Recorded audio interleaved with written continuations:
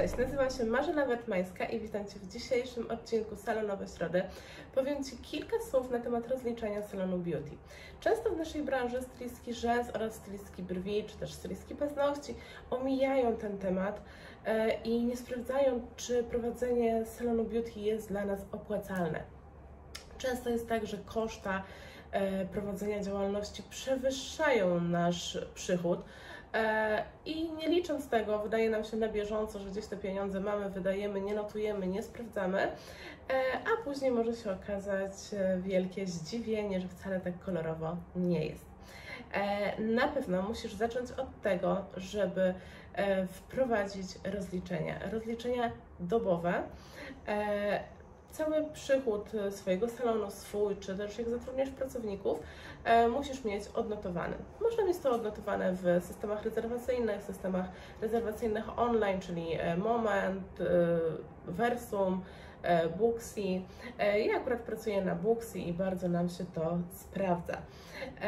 Dodatkowo, jeżeli nie masz takich systemów rozliczeniowych, możesz to po prostu wprowadzić na zwykłej kartce, stworzyć sobie tabelkę typu, nie wiem, pracownik, E, zabieg, kwota, czy była płatność kartą, czy gotówką i później pod koniec dnia rozliczać, czy ta gotówka Ci się zgadza, czy wszystko Ci się zgadza, e, jaki jest dzienny utarg. Taki dzienny utarg powinnaś sobie wpisać do tabelki rozliczeniowej miesięcznej. Czyli mamy każdy dzień i w takiej tabelce rozliczeniowej miesięcznej wpisujemy utarg dzienny, ile było płatności kartą, ile gotówką.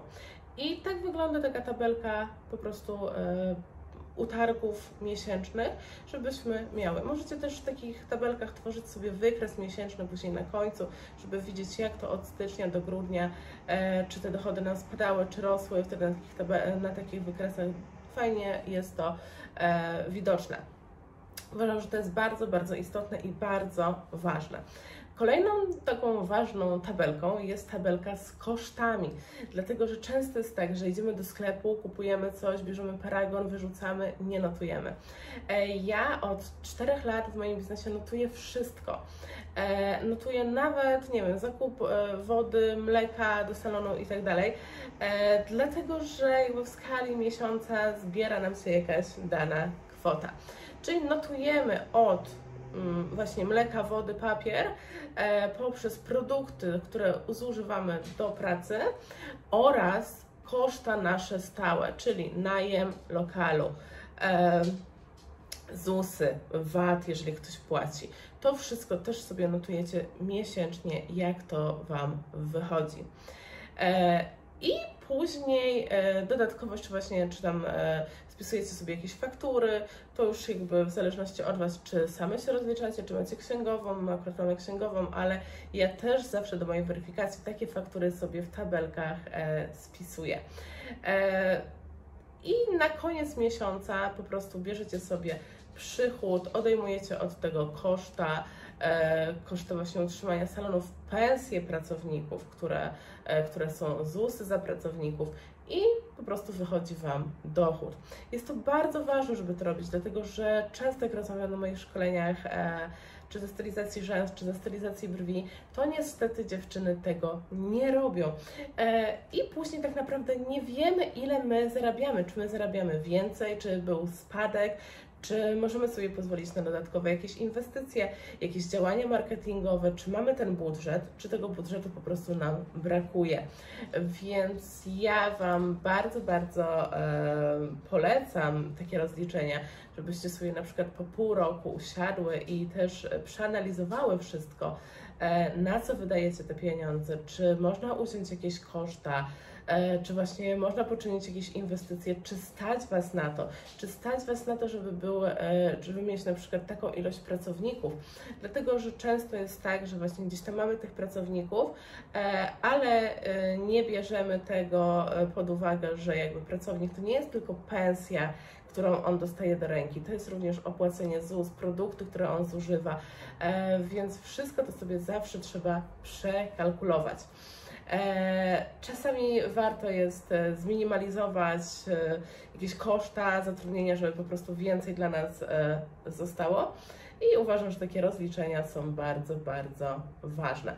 Jeżeli chciałabyś otrzymać takie tabelki w Excelu, to śmiało możesz się do mnie odezwać w wiadomości prywatnej na Stylowe Akademii, wysłać swojego maila, napisać, że oglądałaś właśnie salonowe środy i że poprosisz o wysłanie takich tabelek i ja E, skontaktuję się z Tobą i wyślemy Ci, więc e, zawsze służę pomocą. Dziękuję bardzo i do zobaczenia.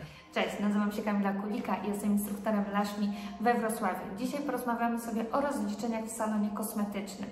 E, w pierwszej kolejności zakładając działalność warto pomyśleć o księgowej, która Ci w każdej kwestii pomoże oraz doradzi. Następnie musisz wybrać, na jakich warunkach chcesz prowadzić działalność gospodarczą. Ja mam na warunkach ogólnych i wszystkim ją polecam. Później wybierasz formę opodatkowania w zależności jakie masz przychody. Następnie, jeśli chcesz wynajmować lokal, weź pod uwagę, że oprócz stałej kwoty będziesz prawdopodobnie musiał, musiała płacić za zużycie prądu, za zużycie wody. E, często dochodzi jeszcze opłata za internet, za e, ochronę, dodatkowe ubezpieczenie lokalu oraz Ciebie.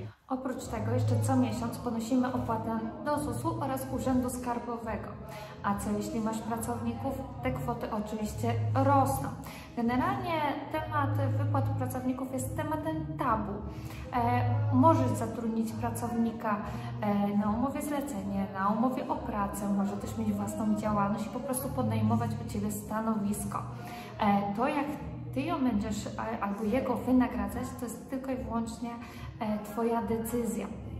E, może być to e, osoba na własnej działalności, która po prostu podejmuje u Ciebie miejsce i płaci Ci stałą kwotę lub po prostu oddaje Ci procent od każdego zabiegu.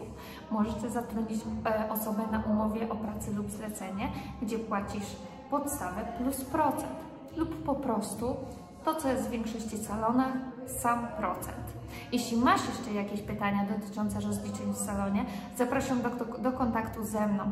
Mam aktualnie dwa lokale o łącznej powierzchni 200 metrów i czterech pracowników, więc jestem w stanie Ci doradzić w tej kwestii.